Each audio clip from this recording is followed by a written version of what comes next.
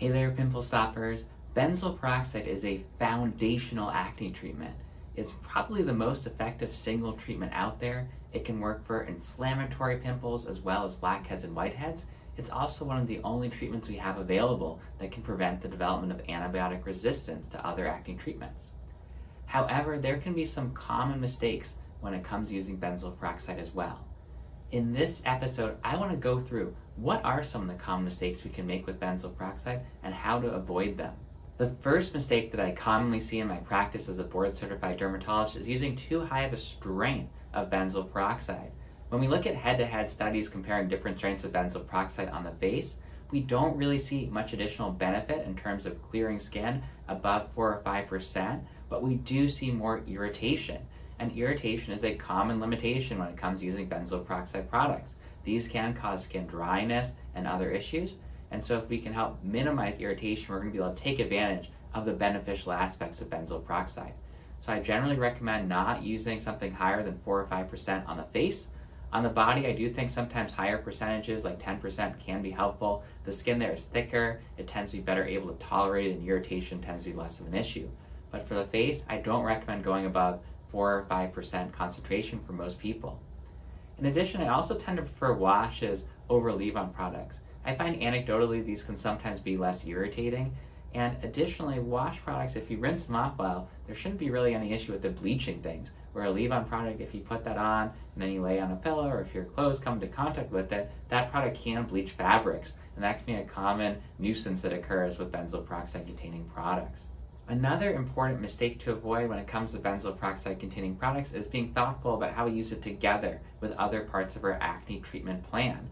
Often acne requires a multimodal regimen that targets different aspects of the pathogenesis of acne, different causes of acne, and we go into that in other videos on the channel. But there are some especially important considerations when it comes to benzoyl peroxide. The first is if one's using a topical antibiotic called Dapsone, we don't want to use it at the exact same time as a leave-on benzoyl peroxide product. Benzoyl peroxide can interact with dapsone and create this kind of yellow-orange discoloration. Now this will eventually just go away with time on the skin, but it can be something that can be striking and disturbing if it occurs. So if one is going to use benzoyl peroxide and dapsone, either use a wash or you can rinse it off, it's not there anymore, or separate them in time. Use one in the morning and one at night to avoid them both being on the skin at the same time where this problem can arise. Another important acne treatment interaction to consider are topical retinoids and retinols. Benzoyl peroxide can break down these sometimes unstable molecules, particularly tretinoin, kind of cream and gel, sort of the traditional generic versions of these, can break down in the presence of benzoyl peroxide. And so if we're using a traditional tretinoin generic product and benzoyl peroxide, again, either we want to use a wash so it's not there anymore, or we want to try to separate them in time. You'd be using the benzoyl peroxide in the morning and the tretinoin product at night. And tretinoin, again, we use these at night because the sun can also break it down. So if we use it in the morning, that may not work. For other topical retinoids, like adapalene or tazarotene, this issue of benzoyl peroxide interacting with that topical retinoid is less of an issue. You could use these together. In fact, there are combination products that combine adapalene and benzoyl peroxide together that are extremely effective for acne.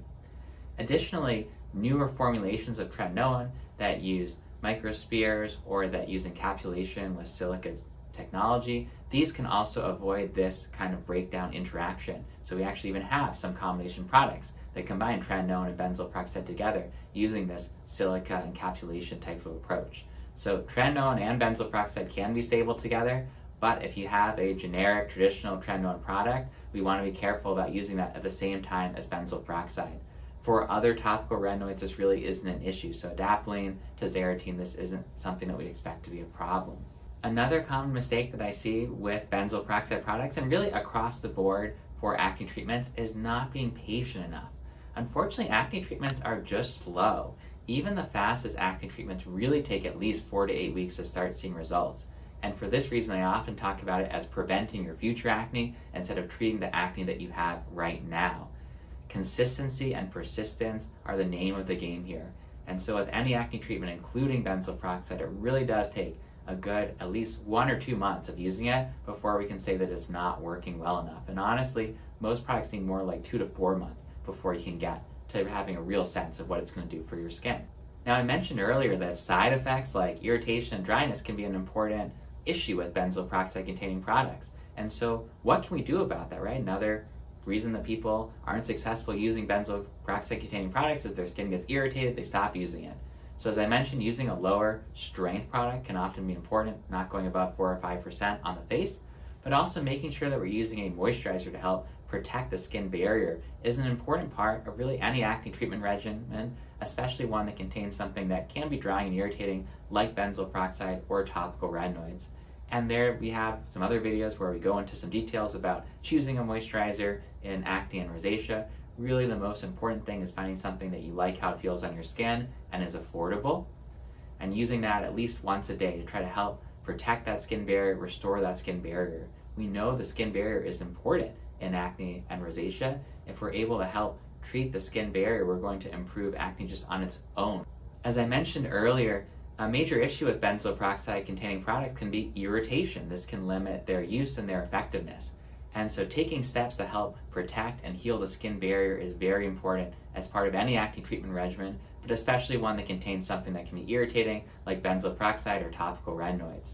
When it comes to choosing a moisturizer, really anything that you like how it feels on your skin and is affordable and is helping to hydrate the skin, that's what matters. There's not necessarily a single best brand I have some other videos on the channel that go into some more details about how to think through selecting a moisturizer for your skin. But ultimately, what matters is it's something that you like how it feels on your skin, it's doing the job, and it's affordable. When it comes to using a moisturizer, it is important to try to have that at least once a day as part of your acne skincare regimen. Even for people who might think they have more oily skin, helping to protect the skin barrier can reduce the stress on the oil glands in the skin, and it might actually help reduce oiliness. So moisturization is a really important part of overall acne care, and especially when we're using potentially irritating products like benzoyl peroxide and topical retinoids. Another common issue with benzoyl peroxide products is sun sensitivity, and so sun protection is also an important part of an overall treatment regimen that includes benzoyl peroxide products. This is also important just broadly in acne and rosacea. Sun, UV, can cause inflammation in the skin and can contribute to breakouts for some individuals. And so sun protection is an important part of our overall treatment strategy, especially because some of our common agents like benzoyl peroxide and retinoids can make our skin more sensitive to the sun. And then finally, just some thoughts about storing and handling benzoyl peroxide. There have been some recent concerns about the potential for benzoyl peroxide to break down into benzene. We have some other videos on the channel that go into this issue in more detail. I don't think that this is a major clinically relevant issue if stored and handled appropriately, but I do think this has important implications for how we think about storing and handling benzoyl peroxide products. We don't want to store them at high temperatures. We don't want to keep them on the shelf for a long time. So if one has a product that's been exposed to a lot of high temperatures for one reason or another, or has been sitting for a long time or is expired, we want to replace those products with newer ones to avoid that risk. In addition, we want to be thoughtful about direct to consumer mail order types of products, so buying things like from a site like Amazon because if that sits on your porch for days and days in hot weather, that could potentially lead to that product breaking down into benzene. And so we want to be thoughtful about where we purchase things from and also not having it sit in potentially conditions that are hot and might make it break down into benzene. To summarize, benzoyl peroxide can be a great part of an acne skincare regimen. However, we want to be thoughtful about how we use it to maximize the benefits of it. We want to make sure we're not using too strong of a product, not going above 4 or 5% on the face we want to be thoughtful about preventing side effects by using moisturizers and sunscreen. We want to also consider how it might interact with other parts of our acne care routine. We want to make sure we're separating benzoyl peroxide from tretinoin containing products or dapsone to avoid potential interactions between them.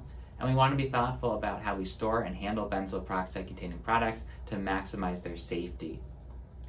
In addition, we need to make sure, just like with any part of our skincare routine, that we're patient Acne things take a while to work. Consistency is the name of the game, and it really does take at least four to eight weeks to start to see benefits from using something like benzoyl peroxide. I hope you found this video helpful. If you have, please consider subscribing to the channel. Your support means a lot to me, and give this video a like so we can share it with the community. Ask me your questions about acne and benzoyl peroxide in the comments below, and until next time, see ya!